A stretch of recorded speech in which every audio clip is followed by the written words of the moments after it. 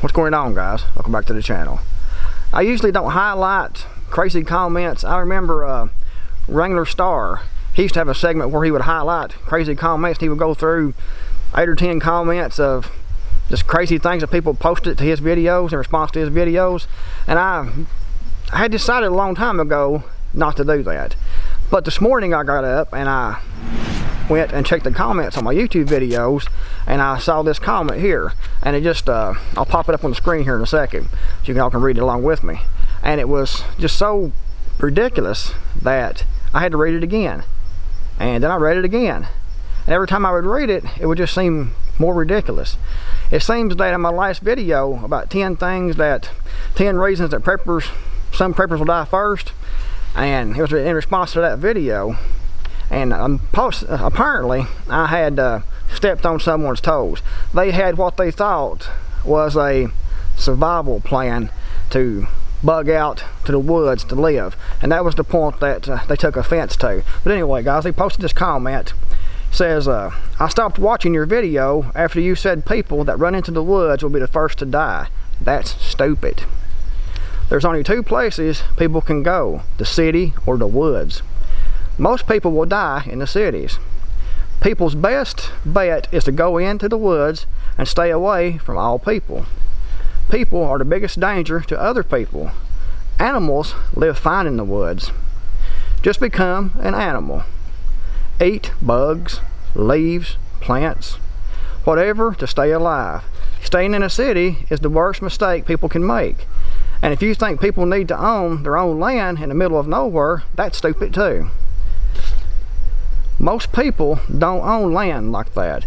So again, best thing to do is go off into the wilderness as far away from people and be armed and have the knowledge to survive anywhere in the wild.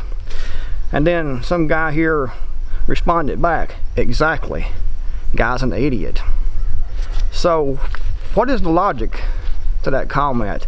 Apparently someone is planning on going into the woods to live and sadly this person most likely has no experience at all. You can tell by reading the comments he had no experience at all in actually surviving in the woods. Before you start posting comments like that or planning on bugging out to the forest to live, you need to actually go do it for a while.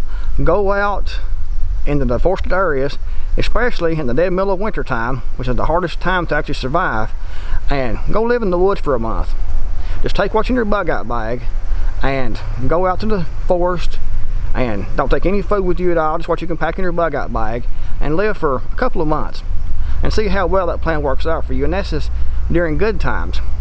Try it during bad times when everything is collapsing, people are starving, people are out in the people are out trying to hunt for deer, squirrel, rabbit, pheasant, quail, and they're out trying to hunt and trap for food, and you're out there trying to live and there's going to be people in the woods and you'll pass by most likely if you're still alive you don't die uh, dehydration or hypothermia you'll be passing by and someone will be out there hunting with the 22 and pop you in the head. One shot you're down he'll take your weapon he'll take your bug out bag and your gear and he'll be on his merry little way. But just right now with no big chance of that actually happening right now go out in the forest and actually live live on the leaves, as you said, to eat, and the twigs and stuff or whatever, and see how well that works out for you. That's the dumbest plan, and it's been regurgitated over and over and over again in survival movies and videos. It just keeps, it just keeps going and going. It's the, it's the bad advice that never seems to go away. It's the stupidest idea that you can come up with and the least likely to actually be able to survive long term. If you are experienced in the wilderness, you might make it for a little while. If you have caches of gear here and there in different locations, food and gear and things, you might make it for a little while.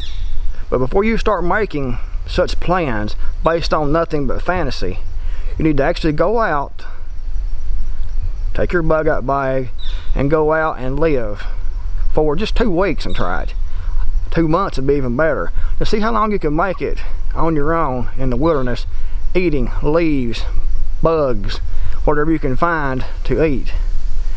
Most people have no idea. The most of the people that are posting comments like that, you could tell that commenter really had no idea what they were talking about. They were just spouting off. And the one down below, this guy's an idiot. Uh, okay, prove me wrong. Go out in the forest and actually live. Live for a month, live for two months. Take just what you can carry in your bug out bag and see how well that works out for you. But anyway guys, if you enjoyed the video, give it a thumbs up. Be sure to, if you think somebody else would like this video, be sure to share this video with those people. If you haven't subscribed yet, be sure to subscribe and turn notification to notify each time that I upload a new video. Anyway guys, thanks for watching M.D. Creekmore. I'm out here.